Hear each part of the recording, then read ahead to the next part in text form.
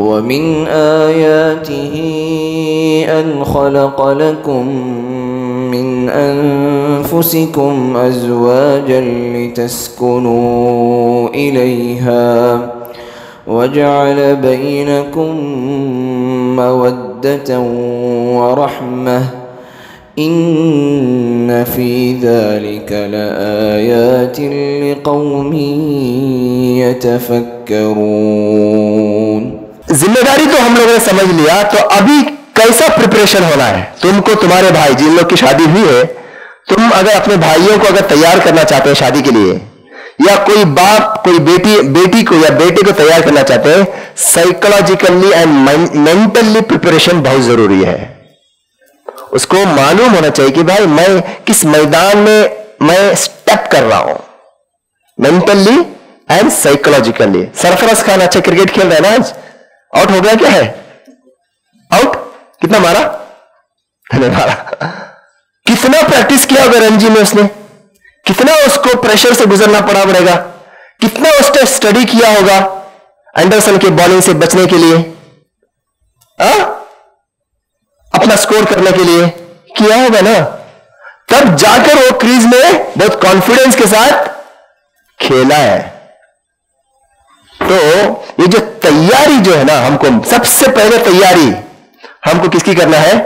बच्चे लोगों को माँ बाप की ज़िम्मेदारी है mentally and psychologically preparation for the marriage यहाँ पर कुछ मिसकंसेप्शन है इधर, मैं इसको दूर करना चाहता हूँ। ओके पहला जो यहाँ पर जो ये है, पहला मिसकंसेप्शन जो माइंड में हमारा भरा गया है या भर गया है मेंटली हम लोग इसके लिए रेडी नहीं है। फ़र्स्ट मिसकंसेप्शन जो जो जहनों में नौजवानों के है अभी, उसमें से एक है, शादी से डर फोबिया शादी से डर। शादी नहीं करता मैं। शादी करने के लिए मैं रेडी नहीं हूँ। अपने आपको छोटा समझना। शादी क्या क्या बड़ा पहाड़ बोल के।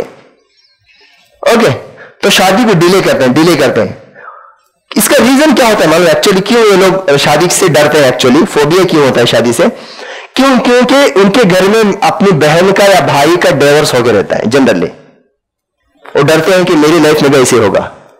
या अपने फ्रेंड सर्कल में किसी के बारे में देखते हैं कि उनकी शादी ब्रेकअप हो गया, यार, सारी लड़कियाँ ऐसी हैं। तो ये जो गलत अंडरस्टैंडिंग है, उसकी वजह से वो क्या करता है? नेगेटिव थॉट्स उसके माइंड में आते हैं। मेरे साथ भी ऐसा होगा क्या? यार, तब तो तुम खाना भी नहीं खाना, यार। सांस भी ले लेना कोरोना है। यार ऐसा नहीं है। नाइन्टी परसेंट माशा तुम्हारे अब्बा अम्मी को देखो। अच्छी शा, शादी की ज़िंदगी गुजरे तो वजूद में आए है ना? अच्छे जो सक्सेसफुल शादी लाइफ है उसको हम लोग अपना रोल मॉडल बना सकते हैं उनसे सीख सकते हैं। इंस्टेड ऑफ़ एक नेगेटिव एक दो केसेस जो ऐसे होते हैं ब्रेकअप या कोर्ट कचेरी मारना तोड़ना होता है ना उसको माइंड में वो जाके डोमिनेट होते हैं।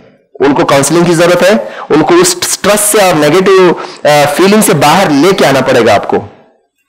बहुत सारे लोग जो शादी नहीं करते ना, दूसरा।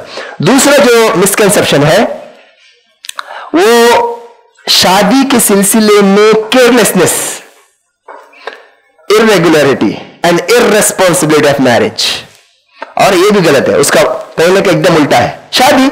शादी के लिए मैं कभी भी रेडी है अब भी बोलने में रेडी है, मैं कबूल किया। इतना लाइट ले लेते हैं, शादी बोले तो। भाई, मज़ाक मज़ाक में ले लेते हैं शादी शादी। और बच्चा बच्चा खेलते हैं, छोटे बच्चे। छोटे बच्चे शादी शादी खेलते हैं, देखो। छोटे, चार साल, पाँच साल के बच्चे खेल आपस में खेलते हैं, टीचर टीचर, शादी शादी। पच्चीस साल का बच्चा भी कभी कभी शादी को इतना लाइट ले लेता है। ये सेकेंड मिसकंसेप्शन उनको बताना है कि भाई नहीं प्रिपरेशन ज़रूरी है। तैयारी ज़रूरी है। तुमको समझना है कि तुम किस फ़ील्ड में जा रहे हो, क्या तुम्हारे ऊपर ड्यूटीज़ आयद हो रही हैं। Okay second third marriage is a hindrance to the worldly progress wallahi, it is a leading misconception among the social media. क्या समझते हैं माने बहुत सारे लोग आप कॉर्पोरेट फ़ील्ड में देखेंगे इसको आईटी फ़ील्ड में देखेंगे। 25 साल 30 साल 40 साल तक शादी नहीं करते। क्या समझते हैं? शादी करूँगा तो मेरा दुनिया का जो वर्ल्ड प्रोग्रेस खत्म हो जाएगा।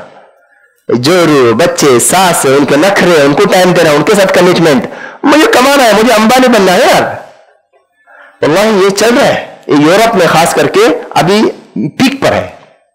मैं रिसेंटली मैं मैं मैं हैदराबाद गया था। वहाँ पे मुझे कुछ कनाडा में स्टडी करने हुए करते हुए कुछ बच्चे मिले वहाँ पर मुझे। उन्होंने बोला कि शेख, वहाँ पर अभी लोग ये सोच रहे हैं कि भाई 40 साल तक शादी नहीं कि शादी इज़ द हर्डन यानी कि हमारे लिए एक रुकावट है। बैरियर है एक शादी। 40 साल तक वो ऐसा नहीं कि सेक्स नहीं करते नौजुबिल्ला हराम तरीके से करते। नहीं तो एबनॉर्मल है वो। एबनॉर्मल है तो बिज़नेस में एबनॉर्मल है वो। नहीं कर पाएगा। तो अपना अर्ज़ पूरा करते हैं। लेकिन 40 साल तक ये बोलते हैं कि हमारे हमारे प्रोग्रेस और हमारे इंप्रूवमेंट के लिए, हमारे डेवलपमेंट के लिए शादी नहीं चाहिए।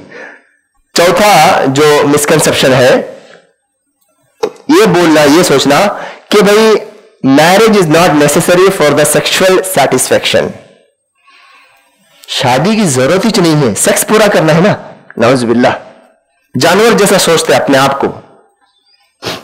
यानी कि ये बोल के हमारे यंगस्टर्स क्या बोलते हैं? शादी, बगैर बगैर इसकी शादी के भी, बगैर के जो है निकाह के, मैं अपना सेक्सुअल अर्ज़ पूरा कर सकता हूँ।